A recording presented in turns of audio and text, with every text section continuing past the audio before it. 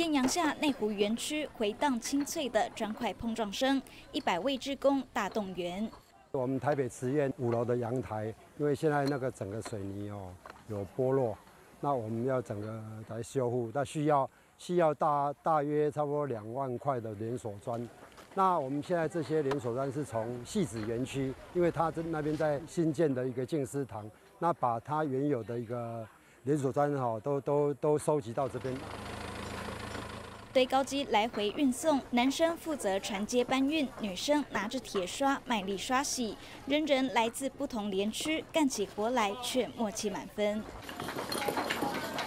虽然呃会觉得很辛苦，可是你看到这么多人一起做哈，哎，不但不辛苦，还觉得很法喜。一般来讲，我们都比较不属于这种出众的工作了，在办公室啊，觉得好像哎这个做起来好像比较工作比较伟大。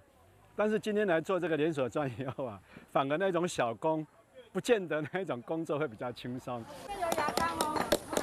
刷洗区域刚好位在蚂蚁窝旁，职工小心翼翼，不伤害这些小生命。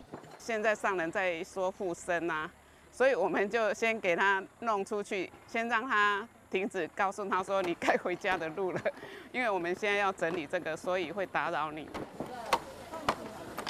谁好会被安出去？啊，封起来，啊，会当包起来，啊，你要载较好载。三天内预计要完成三万个连锁砖的整理工作，砖块回收再利用也是一种爱地球的身体力行。大家新闻，至善美之工黄凤匡台北报道。